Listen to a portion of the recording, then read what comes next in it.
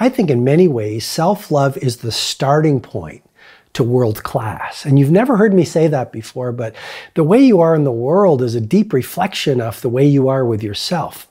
You know, your prosperity and your income is always a reflection of your self identity. Your daily behavior is always a reflection of your deepest beliefs.